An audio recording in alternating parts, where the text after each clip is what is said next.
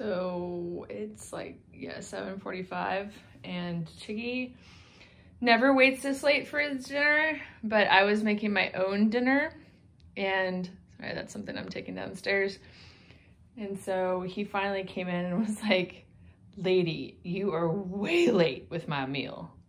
And he never meows this much, so I thought I'd take the opportunity to um, take some footage of it because his meow is so funny.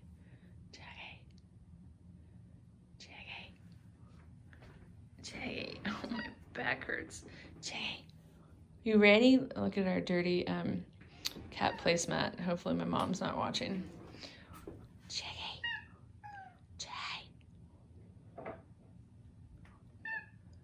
Oh my gosh, freaking awesome. Coco. He's smelling the dinner that I'm making because it's cooking on the stove. So when he's putting his nose up, or he might actually be smelling what I already put in his bowl. Oh, is that a good one?